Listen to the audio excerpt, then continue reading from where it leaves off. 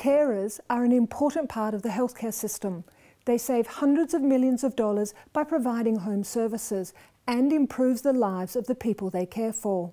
But caring for someone with psychosis can be particularly difficult. She thought I was her enemy. I was putting her in hospital. I was the cause of her illness. Um, she didn't know that I was actually trying to do things to try and get her well or to keep her safe. When you've got psychosis, you may feel very suspicious about the outside world or what other people are doing or what other people's intentions or motives are. You may find the person that you're talking to, you think they're not telling you the truth. The first time my daughter experienced psychosis, I didn't really know what it was. I knew she was angry beyond comprehension. I knew she couldn't control that anger. I knew she couldn't calm herself down. I knew I had to get out of the way. I knew there was something terribly, terribly, terribly wrong. I think the worst moment was seeing her taken away by the police in the paddy wagon the first time, singing like a wee frightened child and not being allowed to go and comfort her or be with her on her journey to the hospital. Mm. That was, and remains to this day, the most devastating feeling I've ever had in my life. We came from the idea that it was very stressful and difficult to look after someone in this situation. And it's particularly difficult because mental health problems are unbelievably stigmatised. And the shame can sort of extend to the rest of the family. You know, why would you want to marry someone who's got this in the family? There's all sorts of issues that it can bring up for families. So sometimes families, we, you know, just feel they have to keep it rather hidden.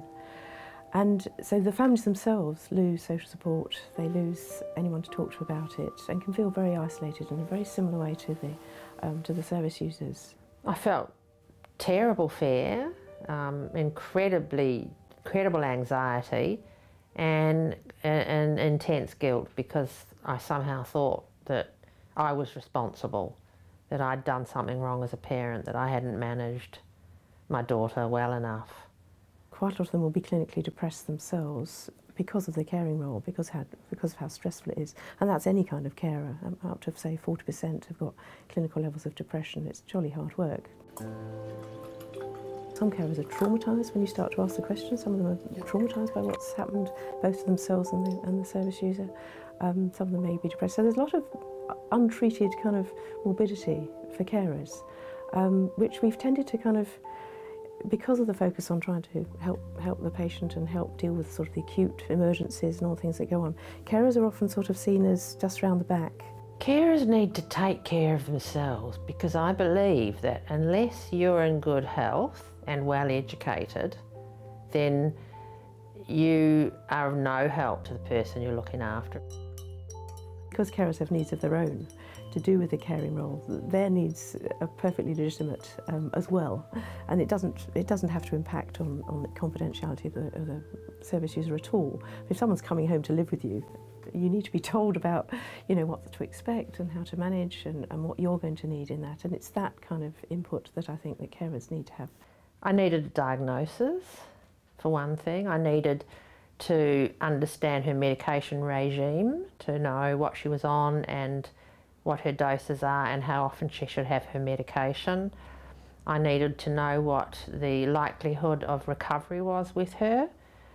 I needed to know what services were available for her on discharge from hospital as she, in the last 10 years, up until two years ago, had probably spent two months in hospital, three weeks out. Two months in, three weeks out for 10 years of her life.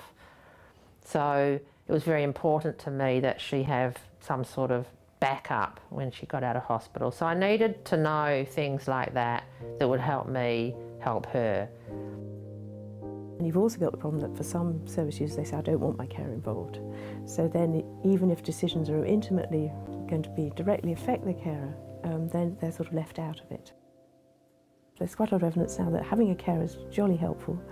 It's, um, it means you're more likely to do a bit better with some of the psychological treatments, you're more likely to take medication, to, it gives you a slightly bigger social network and your network plummets with things like psychosis.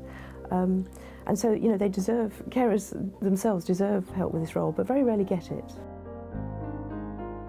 You've got cost effectiveness analyses of doing the family work, you know, keeps people out of hospital. And one of the huge expenses of mental health services is hospital care or intensive care, even if it's not in hospital. Yes, by helping carers manage this in a way that works better for them, it, it also improves outcomes for the whole family. Look, I love her to bits. I love the bones of the child, and I'm happy to support her in what I'm thinking is becoming her first journey into recovery. I mean, I'm very proud to see what she's doing and that she's managing so well given what we've been through. Um, I'm her mum, it's a duty of love. I can't, I can't not do it.